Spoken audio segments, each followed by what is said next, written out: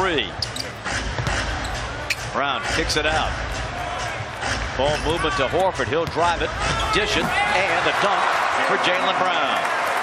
Now the Celtics again now starting to find their rhythm.